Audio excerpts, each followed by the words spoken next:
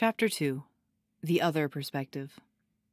Hey, Papyrus, how's the chicken salad turning out? You asked, walking in the kitchen as you stretched. It took six months, but it looks like all those long hours of work were finally going to be paid off. The machine was finally repaired, and Sans sounded certain he had the right algorithms to undo what was nicknamed the incident. The moment when the same said machine pulled a whole bunch of alternate timeline skeletons in this universe and then exploded. Papyrus had his back turned, scarf sliding along the armor. You are mistaken, human. I am actually making spaghetti. Papyrus said, with his back still turned, attention solely focused on the pasta boiling. Almost sighed. After all these months, you were still the human, and never heard Papyrus call you by name. Oh, sorry, I thought you said. Human, I can see you still don't know the intricacies of dating, but sometimes one must adapt for their date. Papyrus said, stirring the bowl. You knew the intricacies of dating just fine. You were dating now for crying out loud. Well, if you consider going out in secret and telling no one the stuff you do together dating. You were suddenly feeling depressed and knew you had to talk to Blue tonight. No more holding it off. Tiffany was able to share feelings and declarations of love with multiple skeletons for crying out loud. You should have no trouble doing it with one. My bad. Would you like help cooking? You asked, approaching from the side. I'm not certain that's a good idea, human. Don't you have allergies when it comes to pasta? Papyrus asked, imaginary eyebrow arching.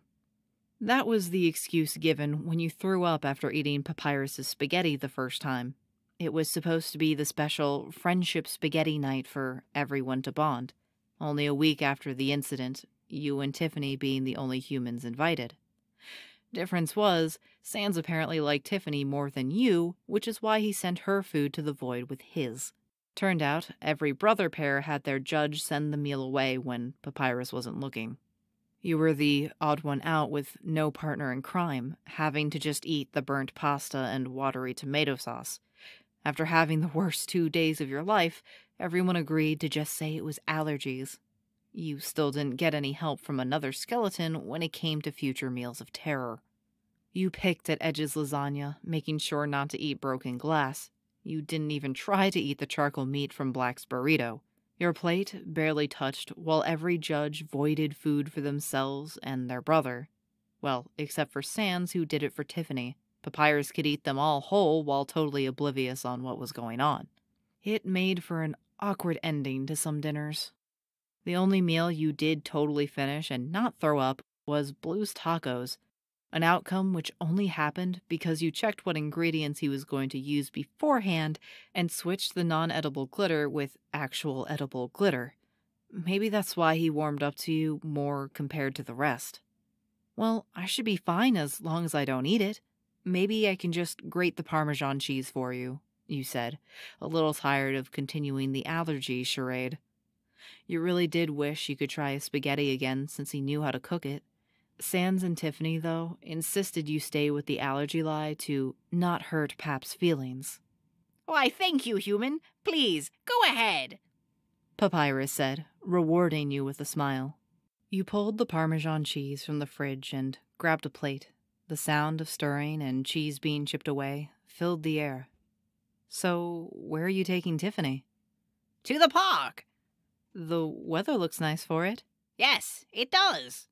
You, um, taking the convertible? Of course. The silence stretched out afterwards, and you were trying your best to not slump your shoulders. Papyrus would talk a mile a minute with literally every other resident in the mansion, including even Edge, who returns every word with insults. The difference in small talk, though, was obvious when you and Papyrus were alone. He'd answer questions, just not offer anything beyond short answers. The only reason you knew he was originally going to make chicken salad was because he gushed about it to Sans an hour ago. Well, I'm done. Uh, see you around. Thank you, human! You headed towards your room, grabbing your jacket and key. The post office wasn't allowed to directly deliver packages to the mansion. It made the skeletons too nervous, having random strangers at the door. So, packages had to be picked up at the post office branch, which was 30 minutes away. You got an email that morning saying Red's chopper part was delivered. You got pulled into ordering it since you had a good relation with a business, which dealt in steel products. Was able to get it custom made per his specifications. Usually, what you ordered from them was custom parts for the machine which could bend the laws of physics. You heard the tapping of a foot before turning and sighed as you saw the familiar sight of Black looking impatient. He was wearing a violet colored shirt and dress pants, always dressed high class around the mansion. In one hand, he carried a stack of packages with ease, but you weren't fooled. You knew for a fact some of those boxes were so heavy they could cause you to pull your back. You still got flashbacks of when you had to stay in bed and beg Blue to get you some Tylenol. Black accused you of faking. Human, I have some packages for you to deliver since you are going to the post office. Black said, dropping them to the floor. You weren't crazy about how the bottom ones crunched up under all the weight. We talked about this, Black. As Sans assistant, my job is to do anything which pertains to repairing the machine in the basement. Delivering your packages isn't covered under the job, you said. You are correct, it is not, but the loan payment I gave you does need to be compensated for. Black said with a smirk. When first starting to work for Sans, the income was good, but not good enough to keep the debt collectors away. Maybe if you had gotten such a good paying job when first starting out in college, it would have been different. But you ended up missing six payments and, like so many other college students, found yourself attached to a mountain of loan debt. Black offered to help you pay off the interest and penalty of your loan so you had nothing past due. You couldn't stop recalling how, in Tiffany's case, Black already paid the full amount of the loan, you thought the agreement was you'd pay him back a little bit each month until the debt was settled. What wasn't said was the other favors Black insisted also needed to be done, like take his clothes to the dry cleaners, bring food upstairs for him, or in this case, take packages to the post office. Not at the cost of you getting me injured. Don't forget you caused me to hurt my back and I couldn't help Sans for a week on the machine, you said, recalling the memory with a wince. That was the point when Sans finally intervened. It would have been nice if the laid back skeleton was willing to help out earlier. Good grief, if you're so worried about your back, then I'll have Mutt take the heaviest when I finally find the useless monster. Black said, grabbing a package in the middle. The bottom package almost appeared to give a sigh of relief, no longer as scrunched up. Fine, you said, not wanting to start a fight you knew you couldn't win. With a grunt, you lifted the stack of packages, which was far from being light. You really would have hurt your back again if you had taken the full load. And make it snappy. There's fabrics in there a tailor needs to make a dress for my lady, Black said, actually taking a pose of putting a finger in the air as you walked by. Yeah, yeah, you muttered, wondering why Black always acted like he was in a Renaissance fair. The drive in your old Honda to the post office was uneventful. He took the liberty of opening Red's package, making sure the part met the specifications you sent them. Everything looked in order, and you went to his room to deliver it, only to find he wasn't there, but his brother's head quickly popped into view from another room. My worthless brother went to that detestable bar. Since you appear to be looking for him, go pick him up before he's too drunk. Edge said with a wave of his hand. Apparently, you were doing favors for even people who didn't help you pay your student loan. You supposed it wouldn't hurt. Red could sometimes be okay company at Grilby's. You both had an interest in machines, which sometimes led to conversations on how he should customize the Road King chopper he was going to work on. So, back into your old Honda you went, arriving at Grilby's bar. The sun was only now setting. Even Red didn't normally go to the bar this early. Maybe you could take it as a good sign of not finding him crazy drunk. Hey, Reader, come on over. Or maybe you really need to work on your deductive skills. You were definitely a far cry from Sherlock Holmes. You reluctantly head in, noticing Grilby the fire elemental practically giving Red the death stare. A couple of other monsters were rolling their eyes and scooting away from him at the bar. Um, hey, Red, your brother sent me to get you back home. Guessing you're too drunk to shortcut? You said, giving Grilby an awkward wave. The elemental gave you a nod as he cleaned a glass. Ah, ya don't say. Red slurred, one bony hand keeping his head off the bar counter. Well, at least he wasn't angry drunk. He was in the red sweater and fur lined jacket, black shorts showing thick bone legs underneath. Yep. Oh, and your part arrived, left it in your room. Good job, Tiffany understudy. I, um. What? You asked, confused. Was this some sort of pun joke? If so, you were totally missing it. Tiffany understudy. That's what you are. You know, the replacement for when we can't hang out with Tiffany. Stupid Paps is getting her tonight. Red growled, for the first time sounding angry as he took a swing of mustard. That's not funny, you said, almost whispering it. You noticed there was suddenly a lot more attention on the two of you. Red, you're out of line. Reader, you don't need to take this. I'll call a taxi for him. Grilby said, flames flickering faster on his head. No, it's, um, okay. I'm already here. I can put up with him until we get home, you said with a shaky smile. The bartender stared at you for a second before shaking his head. All right, kid. Don't know why you are putting yourself through this. Why am I putting myself through this? Maybe because, in a way, this was an opportunity to find out something. You always knew how the relation between Tiffany and the skeletons worked. They adored and loved her, and she adored and loved them back. You were always the odd one out, though. Never close to any of them except for Blue, Axe, and Traps. The first being a skeleton you started going out with in secret. The other two are pretty much your best friends. You weren't ignorant of how Tiffany barely gave them any attention, and it was probably a factor. Although you also got friendship points for trying to help them get the barrier of their world down. The two of you got in the car, in Red's case, crawling into the car, closing the doors. Taking one of Red's old pun jokes, you mustered up your courage and opened your mouth. So why did you call me Tiffany Understudy? Ah, you know, because you like an understudy. Tiffany is the big star and the one we all want to see. But sometimes the big star gets sick or has to hang out with stupid skeletons like Paps. So the understudy comes in.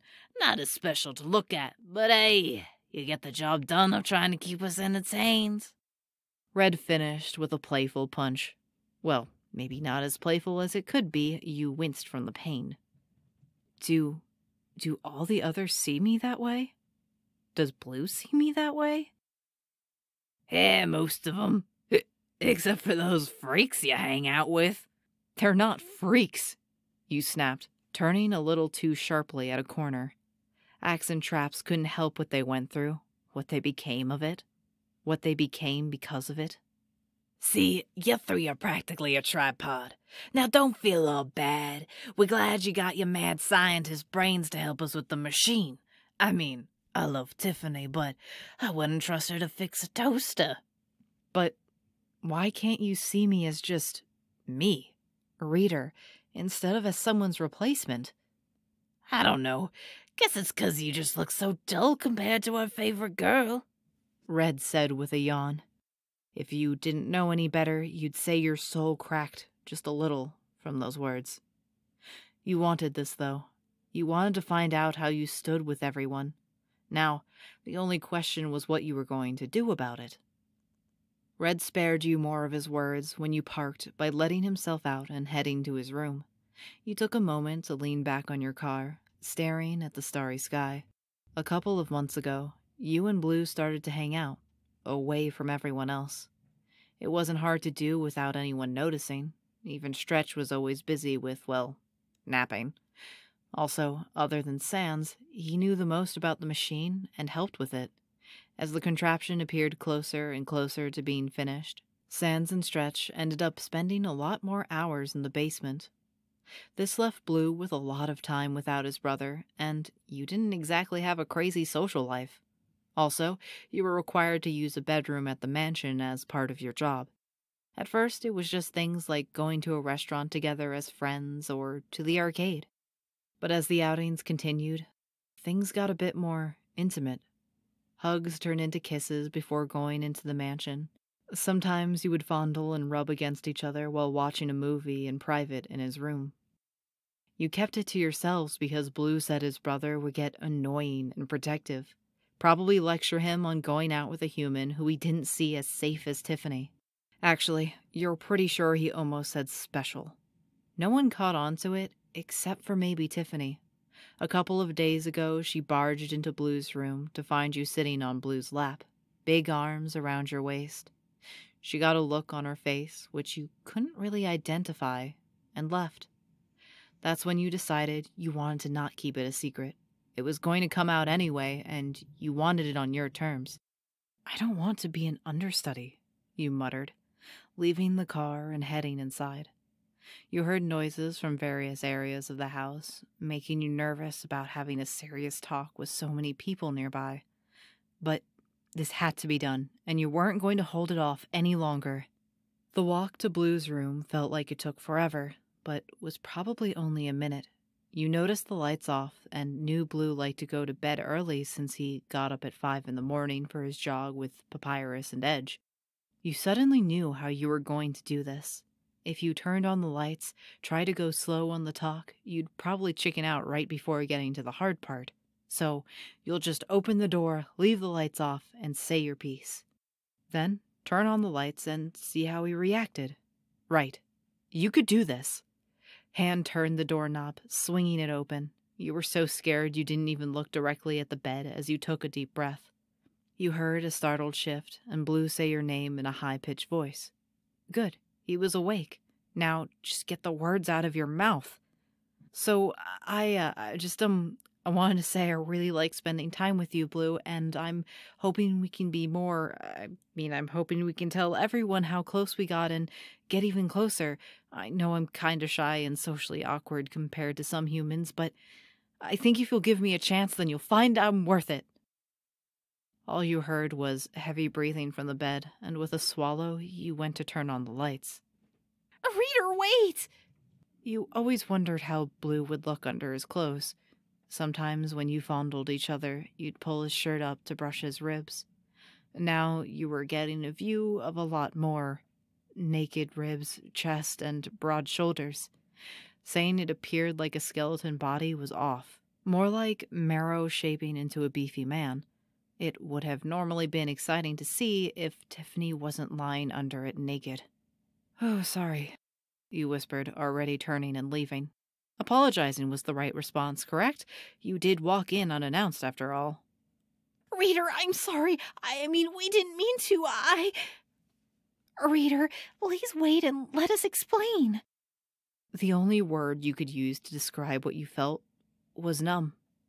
Like you were having an out of body experience and all your senses had become dull.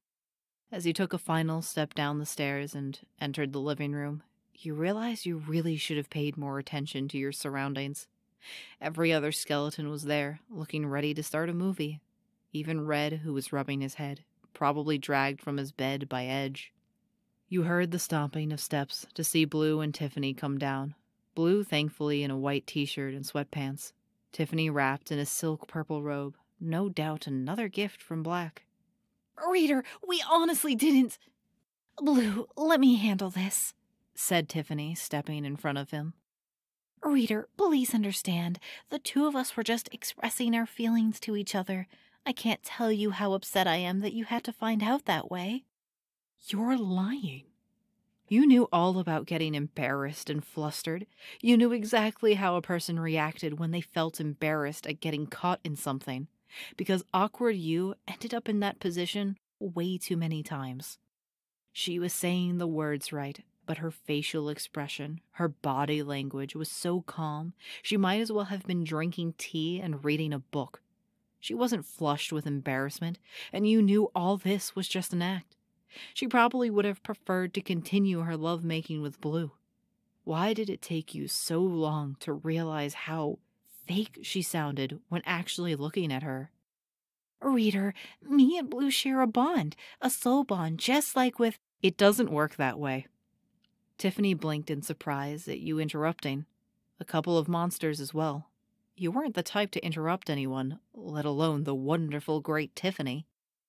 But a lump of determination was forming inside you. You weren't just going to let everyone say this was okay.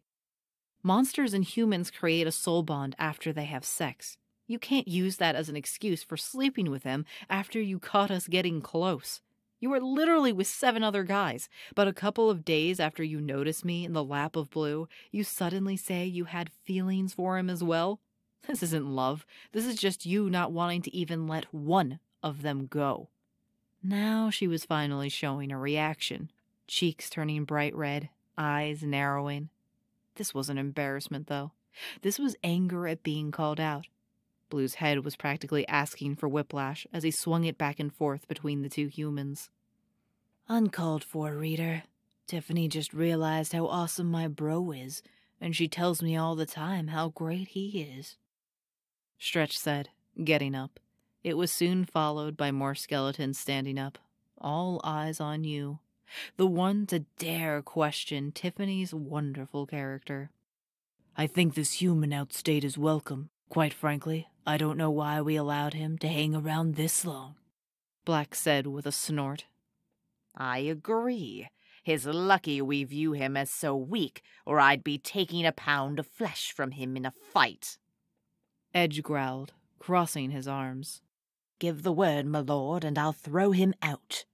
Mutt said, one eye glowing violet as he took a puff from his smoking doggy treat. Sans, blue, and red had been silent, as well as Papyrus, who squeezed his hands in agitation, not enjoying the display of an argument in his home. You had to admit, as harsh as their words were, they didn't hurt as much as you expected. Maybe, for once, the not so close relationship with them was working in your favor. Trust Tiffany, though, to be able to change that. Oh, please let's not fight. The soul bond between P and Blue just formed, and this shouldn't be a time for everyone to be angry. Tiffany said, doing her classic hand on heart move. This time you were certain your soul cracked a little. You blinked as your eyes watered slightly. No way you were giving anyone in here the satisfaction of seeing you cry. Reader, while you were a great help with completing our machine, I'm afraid I'm going to have to terminate your employment here. Please collect your belongings and leave. Sans said, appearing almost apologetic. No two weeks' notice, evidently. Just kick him to the curb as fast as can be. Was it his imagination, or did Tiffany flinch slightly at the words, completing our machine? Wait, my Sans and Papyrus still need Project Battering Ram. Not so fast, you said, noticing Sans' pause as he was turning to head to the basement. Per our verbal contract, I stay employed not just until the machine is fixed, but also until Project Battering Ram is done as well. I'll find residence elsewhere, but I expect to have the same resources to help Axe and Traps break the barrier in their world. Hey, we'll deal with it, kid, Stretch said, scratching his chin. Project Battering Ram was, to put it simply, looking to use human technology which could break the barrier. Axe and Traps were the only ones who came from a world where the barrier existed. Everyone else was pulled here right after their barrier was destroyed. You can't. None of you were involved in any way with developing the project. Sans, if you're going to cut off my funding for this, then I want to hear it directly from your lips. I want to hear you say you're going to let thousands of monsters die of starvation just because everyone here hates my guts. You were shaking. You were terrified. Not of being hurt, even though there had been a lot of threats. Terrified of letting your two best friends down. They needed this and you couldn't let their only chance at freedom get away just because you wanted to run from here and never look back. Blue finally moved, taking a step past Tiffany, who stiffened. Reader, we don't hate you. I mean, I don't. All right, kid, you get your funding. Now get your stuff and get out, Sans said, no longer appearing so much apologetic as annoyed. With a huff, you nodded and headed to your room, not sparing Blue a glance. No one helped, of course, not even Papyrus, who looked like he almost offered a hand, but stopped under the glare of Edge next to him. It was grueling and hard, maybe you should thank Black for all those times he made you carry stuff, because apparently you developed enough muscle to pull it all off by yourself. You drove to a cheap motel, using your credit card to get a room. You'd call your Sans and Papyrus tomorrow morning and explain what happened. You wish you had a moment to say goodbye to them before they kicked you out. As you laid in bed, you blinked in surprise when you realized tears were going down your cheeks. Looks like you couldn't hold it in any longer. You sniffled and sobbed a little in your pillow, torn between being glad no one was witnessing your crying and wanting someone there to hold you.